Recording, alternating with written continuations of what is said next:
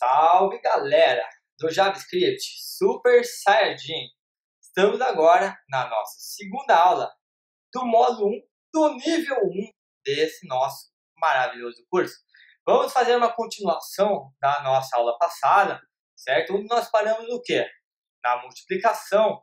E o seu exercício era fazer a mesma coisa da multiplicação para a divisão. Porém, eu estou iniciando essa aula passando um desafio para você. Qual é esse desafio? Eu quero que você crie uma função de divisão, ou seja, então você vai ter que ter feito o exercício anterior.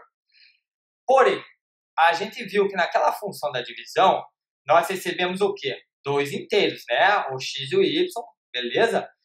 E ele não vai te dar um resultado que tem o quê? Decimal. Por quê? Porque nós só estamos trabalhando com soma e subtração. Então, se você pegar 5 menos 2, vai dar 3. Você não vai ter números decimais nesse meio do caminho. É exatamente esse o nosso desafio. Eu quero que você faça refatória essa função da divisão, onde eu possa passar como parâmetros os valores 5 divididos por 2, por exemplo, e o resultado da nossa função tem que ser 2.5. Mas eu não quero que você só faça o nosso script, nossa programação. Além disso, eu quero que você explique como dois valores dos, do, do conjunto dos números naturais transformaram-se. Vou até arrumar aqui ó, no nosso texto. Transformar-se em um valor que não está contido nesse grupo do conjunto dos números naturais, certo? E qual que é o grupo que esse resultado pertence, tá certo? Esse é o nosso desafio para iniciar a nossa segunda aula do nosso curso.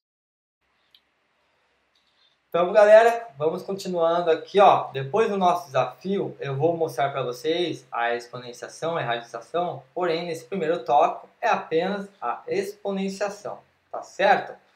Bom, como você já deve saber, a exponenciação é a função inversa da radiciação. Olha, vice-versa, né? E elas derivam do que? Da multiplicação e da divisão. Por quê? A exponenciação, que nós veremos agora, é exatamente uma sequência de multiplicações. E a multiplicação o quê? Uma sequência de somas. Tá? Então a gente está sempre subindo um nível, pegando a operação que nós aprendemos e utilizando ela numa sequência de operações, tá certo? Então, vamos iniciar criando nossa função chamada poll, tá certo? Ó, poll. Eu tenho aqui nosso arquivo, meu poll very basic, onde nós vamos ter quase aquela mesma lógica da multiplicação, tá certo? Então, na minha função agora do poll, a primeira vez que eu executo ela, eu vou receber o y.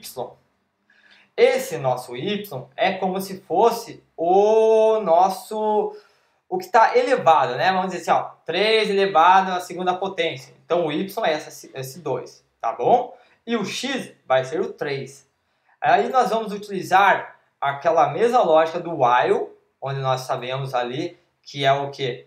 Um operador, um laço, né? Então ele vai continuando fazendo. Enquanto o nosso y é maior que zero, que a gente tem que chegar no 1, ele não chega no zero, é maior que zero. Não é maior ou igual. Né? O que, que nós fazemos? Nós pegamos o mesmo result e multiplicamos o x. Por quê? Se eu fazer 3 elevado à segunda potência, eu quero fazer 3 vezes 3. Tá? Então é basicamente isso que nosso código está fazendo aqui. Vamos conferir ele no nosso terminal? Então vamos lá. Note pull ver é, very basic. Olha lá. 3 elevado à segunda potência, 9 elevado à terceira, 27, a quarta, 81, a quinta, 243. Correto? Porém, nós temos como deixar esse código um pouco mais conciso, mais limpo. Como assim? Nós podemos utilizar uma coisa chamada o shorthand operator. O que é o nosso shorthand operator? É basicamente pegar o mesmo valor que nós queremos fazer esse cálculo, tá certo?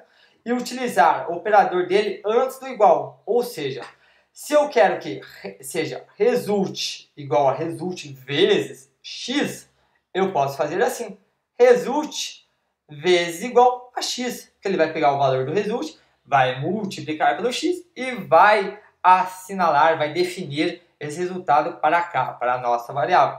A mesma coisa acontece com o y. Como nós temos ali y igual a y menos 1, nós podemos também reduzir isso com shorthand operator. Então nós temos aqui, ó, vamos ver, ó, o nosso shorthand operator. Olha como fica mais simples, né? Então, mas eu tinha que mostrar para você da forma comum. E agora, se você ver isso aqui, qualquer operação que vier antes do igual, você sabe que está pegando o valor que nós temos na esquerda, fazendo a operação com o valor que nós temos na direita e jogando o resultado para a mesma variável. Tá certo? Então vamos executar nosso Pull Basic agora. Node Pull Basic. Olá? A mesma coisa, tá certo? Simples. Então essa é uma outra técnica muitíssimo largamente utilizada no JavaScript para nós diminuirmos o nosso código, tá certo?